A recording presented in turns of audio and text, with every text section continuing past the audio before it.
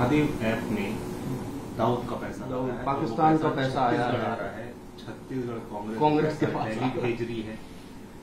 और तमाम मुंबई से लेके कहा कहाँ तक ये मूर्खतापूर्ण बात इससे हास्यास्पद बात और क्या हो सकती है? पूरे देश में शायद एक आध राज्य कार्रवाई की होगी। छत्तीसगढ़ सरकार ने कार्रवाई की।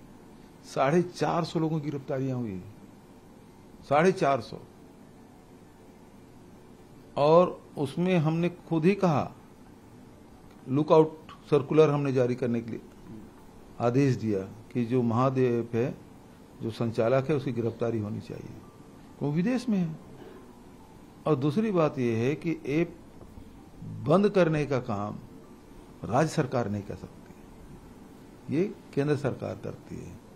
तो मेरा आरोप ये है कि ऐप बंद नहीं कर रहे हैं।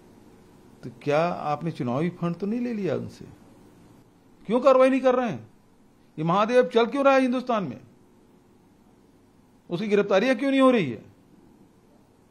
जबकि आप ही के लोगों की यहाँ वो बैठते हुए बढ़िया केक काट रहे हैं, पार्टियाँ मना रहे हैं। क्यों कार्रवाई नहीं हो रही है?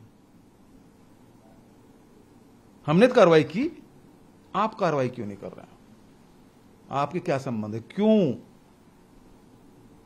सबसे बड़ा सवाल तो यही तो ये जो आरोप लगा रहे हैं कि ये दाऊद और पाकिस्तान वाला क्या ये पैसा वो उन लोग क्या जा रहा है ऐसा?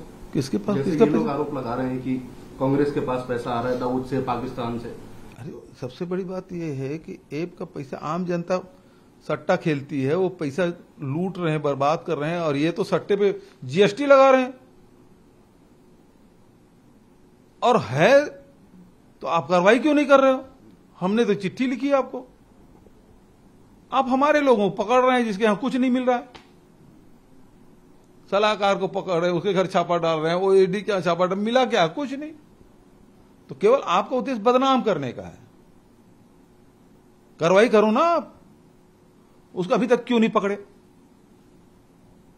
और वो नहीं पकड़े, मान लो आप खोज खोज भी कर रहे हैं और नहीं पकड़ा गया तो ऐप क्यों नहीं बंद करते?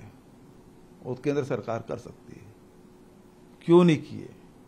तो सवाल इस बात का है कि उस ऐप के ज़रिए जो पैसा जा रहा है, उससे आपका कोई भया दोहन तो नहीं कर रहे हैं आप सबसे बड़ी बात तो यही है।